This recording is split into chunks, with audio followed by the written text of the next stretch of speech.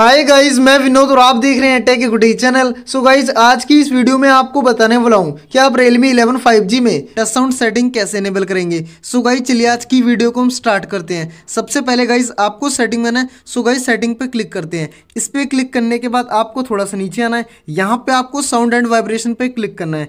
इस पर क्लिक करने के बाद यहाँ पे आपको थोड़ा सा नीचे आना है। यहाँ पे आपको हैप्टिक एंड टून्स पे क्लिक करना है। इस पर क्लिक करने के बाद यहाँ पे आपको लास्ट ऑप्शन मिल जाएगा टच साउंड्स का। सो गाइज़ जी हमारा टच साउंड सेटिंग अगर आप इस सेटिंग को अनेबल कर देंगे और गाइज़ आप अपनी फ़ोन की स्क्रीन पर टच करेंगे तो गाइज़ आपको टच साउंड की आवाज़ आएगी. अगर आप इस सेटिंग को अनेबल कर देंगे तो सो गाइज़ मैं सेटिंग को अनेबल कर देता हूँ. इस सेटिंग को अनेबल करने से पहले, अगर आपको ये वीडियो अच्छा लगे तो वीडियो को लाइक एंड शेयर कीजिएगा और गाइज़ हमारे चैनल को ज़रूर सब्सक्राइब कीजिएगा. सो गाइज़ मैं सेटिंग को अनेबल कर देता हूँ. इस सेटिंग को अनेबल करने के बाद गाइज़ आप अपनी फ़ोन की स्क्रीन पर टच करेंगे तो गाइज़ आपको टच साउंड की आवाज़ आएगी. सो गाइज़ इस तरीके से आप टच साउंड सेटिंग को अनेबल कर सकते हैं। और गाइज़ आपको ये वीडियो इंटरेस्टिंग लगा तो वीडियो को लाइक एंड शेयर कीजिएगा। और गाइज़ हमारे चैनल को ज़रूर सब्सक्राइब कीजिएगा। तब तक के लिए bye bye tata thank you